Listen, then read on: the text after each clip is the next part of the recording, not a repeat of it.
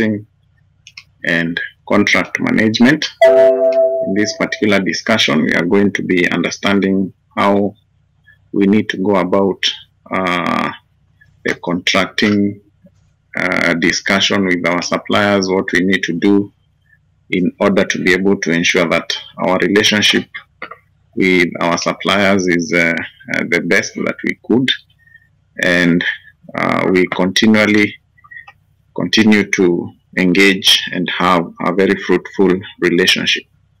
So uh, by the end of this discussion, uh, we are going to be able to identify uh, the key stages of, of contracting process and the roles and responsibilities of the contracting parties.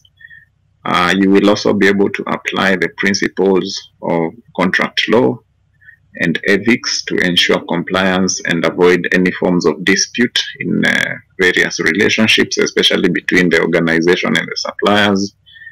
We'll also be able to analyze uh, the risks and opportunities of different types of contracts and procurement methods. We'll also be able to develop effective uh, contract negotiation and communication skills to achieve desired outcomes and maintain a good relationship and we'll also be able to monitor and evaluate uh, contract performance and implement uh, very corrective actions when needed. So we begin by understanding uh, what is contracting. And we are saying when we talk about contracting, then it involves the process of signing a legally binding agreement between the buyer and the seller. And after reaching a consensus on the terms and conditions of your work relationship. Uh, so key of emphasis is that first, of course, there must be some forms of negotiations. I think we have had conversations around negotiation. Then once we agree on the way forward, now we can be able to uh, enter into a legally binding contract. So documentations are going to be involved, signatures, both parties are going to be involved.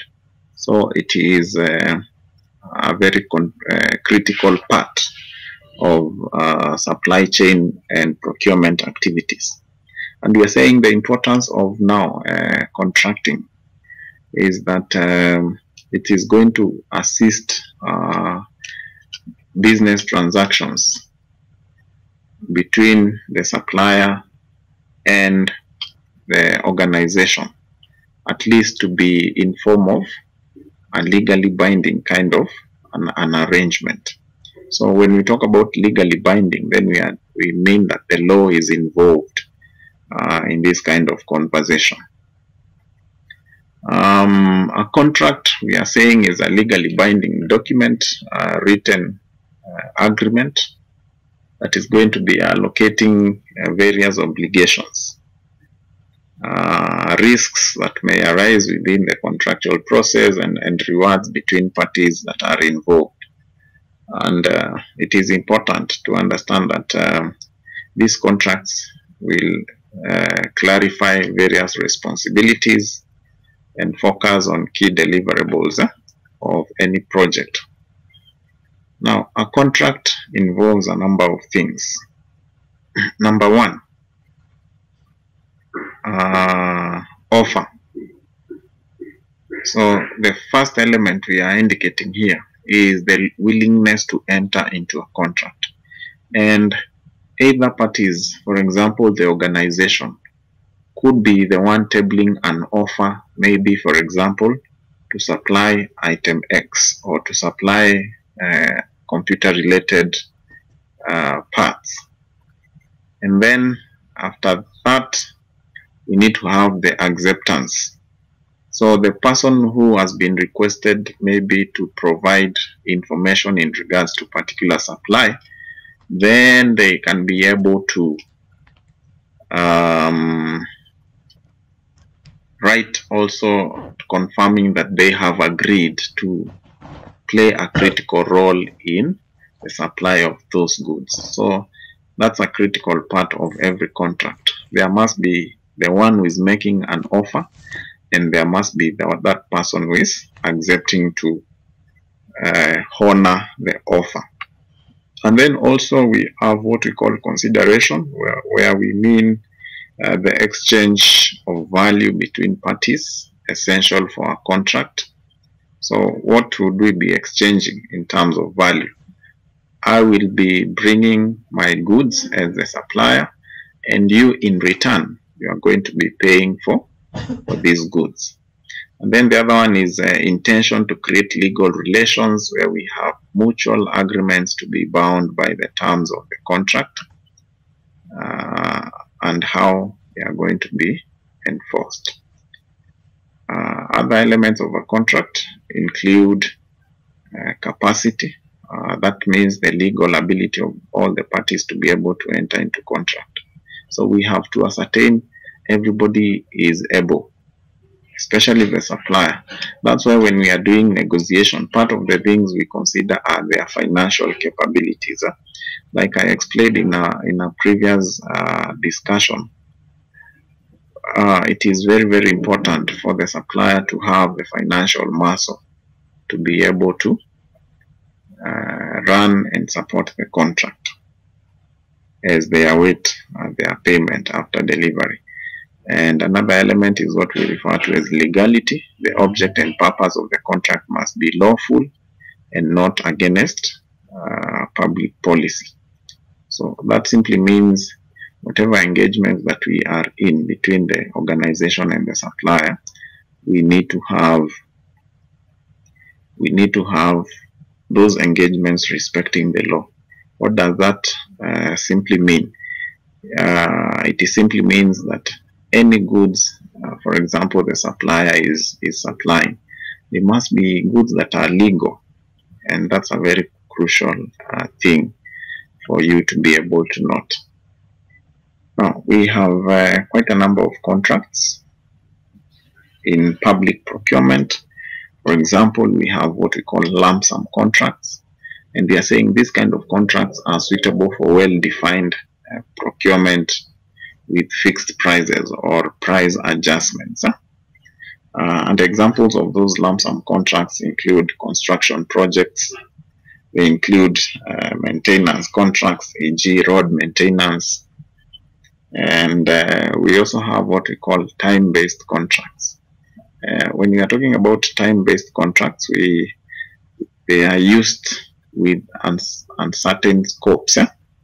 Uh, with payment that is going to be based on an agreed hourly rate, uh, a daily rate, or a weekly rate, and so on and so forth. And then we also have what we call uh, measurement contracts.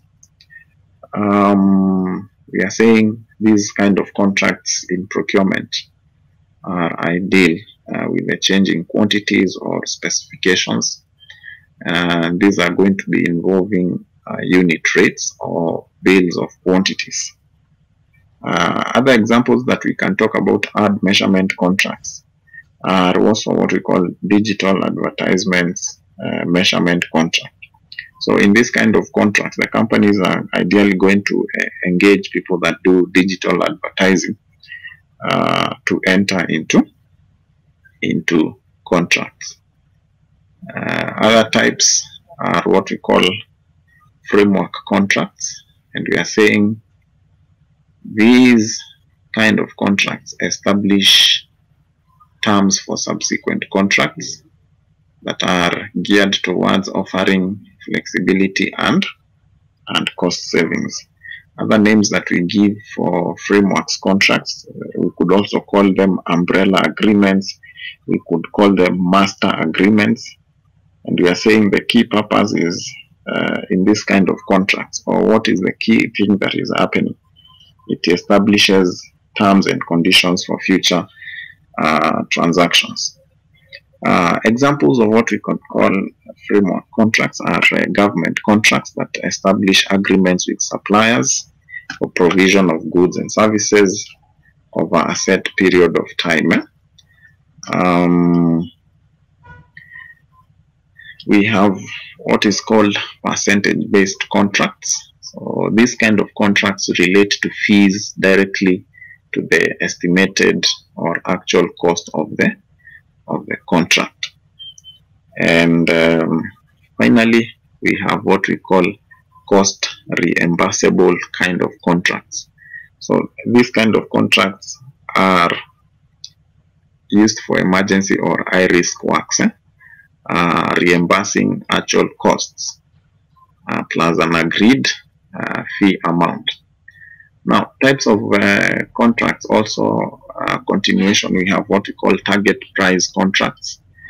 When we talk about this kind of contracts, they set a target price for incentives or for cost savings below the target.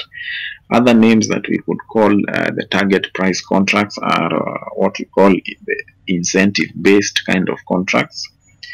Uh, they are also called, uh, they involve getting asset price for a project or, or service. Uh, examples would be, for example, when we talk about target price contracts, uh, IT projects, for example, e.g. software development or implementation projects. Others are uh, what we call uh, retainer contracts. So they retain a provider for services over a prescribed period of time without defining uh, specific service levels. Eh? So here, um, most organizations that use this kind of contractual or contracts, they are going to be working with a specific uh, service provider, but they usually do not specify the levels of service. So that means the levels of service and other nitty-gritties of the contract are going to be discussed at that particular point where now there is some work or goods to supply. We have what we call the contracting process. Um, so the first step in the contracting process, it involves initiation and need identification. And that involves initiating a party. Uh, in this case, we identify the needs for goods or services and initiate the process. So we need to begin by identifying that uh, for sure, for sure, we need item X or we need we need uh, good good or item number B. Yeah, so that is very, very critical. Even at an individual level, when we are purchasing any goods, then we are beginning by looking at uh, do you need the item? And then also, as we are doing that uh, responsibilities, we also need to define the scope. Uh, to what extent do we need the goods? What are the objectives of uh, that kind of engagement? Uh, budget, and then after that, we do what we call solicitation and vendor selection. So we initiate a process now of uh, coming up with a request for proposal or an in invitation to bid uh, that is going to outline requirements and uh, selection criteria. Then we have uh, potential vendors. The potential vendors are going to respond to the request for proposal or the invitation to bid uh, with proposals that are going to detail their qualifications, solutions, costs, etc. And uh, the responsibilities now, the initiating parties are going to evaluate those proposals based on predefined criteria, negotiations with potential vendors and um, vendors also are going to clearly communicate uh, capabilities, respond to inquiries, and negotiate uh, various terms. Uh, we have the negotiation and contract uh, drafting. So we initiate party and select selected vendor. We initiate conversations now and in these conversations, we are going to discuss and negotiate different terms and conditions of the, of the agreement. Uh, the legal counsel, which we are saying is optional, uh, we may need to bring somebody who is, who is conversant with law to advise us on uh, what we need to do. Um, the initiating party is going to define their expectations, negotiate favorable terms, and also ensure even as they are negotiating, uh, ensuring legal com compliance. And the vendor is, of course, going to negotiate a fair compensation, uh, clarify obligations, and protect in intellectual property. Uh, then from there, we have the contract renew, review and approval. So initiating party and selected vendor are going to be reviewing the final draft. They raise any questions or concerns. Uh, the legal counsel uh, optional, they are going to provide a final review and, and approval for legal standpoints. Uh, the responsibilities include uh, both parties thoroughly are going to review and understand all terms eh, and seek clarification if needed. Uh, so the initiating party is going to ensure alignment with uh, internal policies and budgets, and also they also ensure legal compliance and clarify any ambiguities. Number five, then we do contract execution and performance. When we do contract execution and performance, then both parties are going to sign a final agreement and they formally acknowledge terms and conditions uh, and obligations. The responsibilities include initiating party, providing uh, necessary resources, uh, monitor performance, and communicate effectively. And the vendor, of course, is now going to deliver goods and services according to agreed time frame and, and quality uh, standards. Number six, we have uh, contract management and monitoring. So both parties are going to monitor progress, address any issues, communicate any forms of deviations or change uh, on challenges.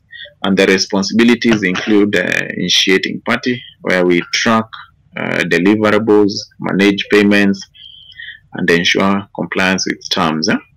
And also on the side of the vendor, we provide uh, regular updates address any concerns promptly and maintain uh, any forms of uh, communication. contracting process, finally, or last but not least, then we have the contract closure and evaluation. Uh, we are saying both parties, uh, what do they do upon completion, finalizing deliverables, settling uh, payments and review contract performance. Uh, responsibilities. So initiating parties are going to finalize payments, document lessons learned, and consider future collaborations. The vendor is going to ensure final deliverables are complete. They are going to gather feedback for improvement. Uh, so Introduction to contract management. It involves ensuring that contractual obligations are met and they are achieved. And uh, why is contract management important? Uh, that's a critical question for us to be able to ask ourselves. And we are saying it establishes a good working relationship eh, between the procuring and the disposing entity or the PDE contract implementation, uh, we are saying this one is now going to involve day-to-day -day management, uh, performance evaluation, monitoring and, and control. Uh, why is it important? Uh, risks of poor management, uh, delayed decision, time cost overruns, damaged relationships, some standard works, misunderstanding of obligations, and missed opportunities. Huh? So those are the risks that we are going to encounter when we do not manage our contracts appropriately. Issues of delay, issues of time and cost overruns. So you will find yourself uh, the time has elapsed. Probably we could be running a construction project that has a specific time uh, duration that you need to have executed and you find yourself you are unable to do it because there is an aspect of contract management that you did not get right. And the other one is impact, highlights the repercussions of ineffective contract management on project success and stakeholder uh, satisfaction. Now, when you are doing uh, contract management, we have main tasks that we need to uh, discuss. Number one, tasks include obtaining commitments from subcontractors, uh, establishing administrative administration plans, conducting pre-performance conferences, uh, monitoring progress, managing changes and, and disputes, ensuring timely delivery and uh, and payment. Uh, this is important because it illustrates the diverse range of responsibilities that are involved in effectively managing contracts. Now, we have critical personnel that we refer to as the contract managers. So, what is the role of these uh, contract managers? Number one, they are very critical in terms of doing what we call contract analysis. Uh, they are also uh, critical in terms of doing what we call implementation planning. They are critical in terms of uh, compliance evaluation and internal support.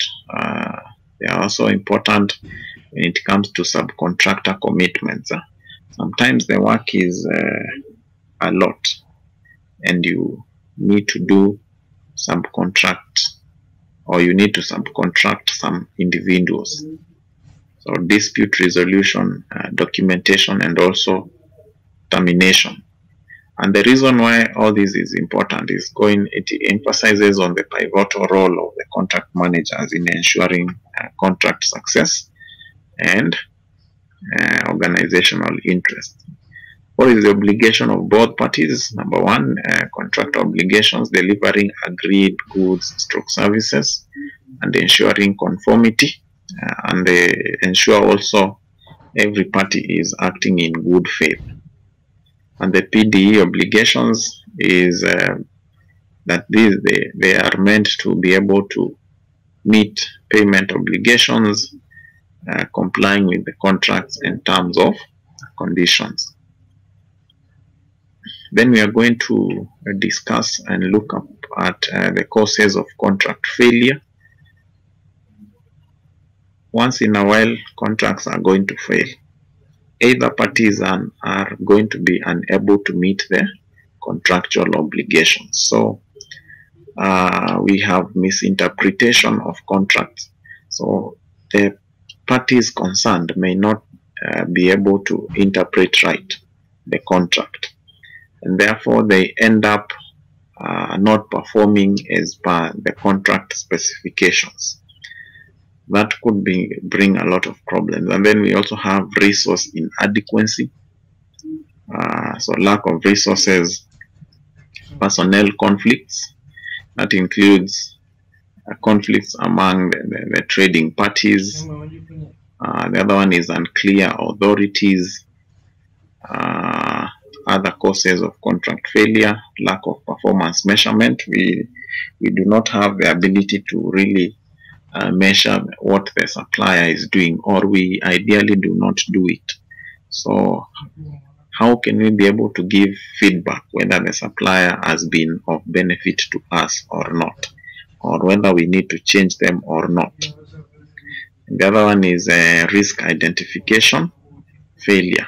So along the relationship between uh, the, the suppliers and the organization, there could be some risks involved.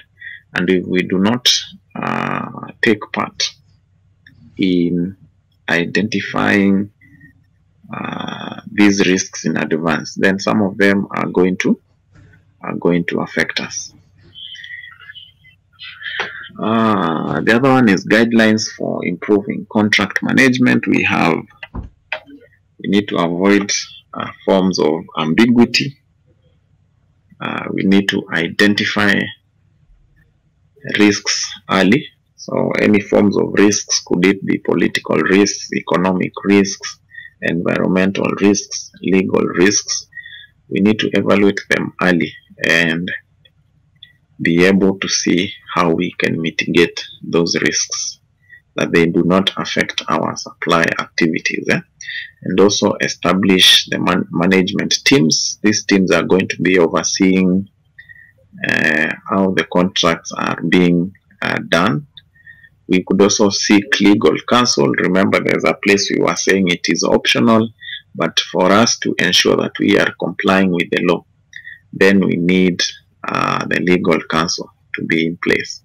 And also maintaining open communication between the organization and the suppliers. Other challenges in contract uh, management include or challenges in contract uh, management include uh, legal determinations, uh, cultural conflicts, uh, changed circumstances. So along the way, we could have uh, issues that need to be changed. So if you are not flexible as a supplier, then that could uh, affect how the contract runs. And then also ownership changes. Uh, currency fluctuations like now uh, different countries are having issues with the currency. And then also issues to do with uh, language barriers as making it in, unable for the participating teams in the contract or the procurement process inability to uh, communicate with each other and finally is challenges in terms of skill gaps. So we may not have people that have knowledge around procurement and that could act as a deterrent to the success of our of our work and then also business culture disparities. So that is going to bring us to the end of uh, our lecture. I believe you have been able to uh, learn something from the lecture and I invite you to also keep reviewing it and uh, do research on areas that you feel uh, will require clarification. Thank you very much.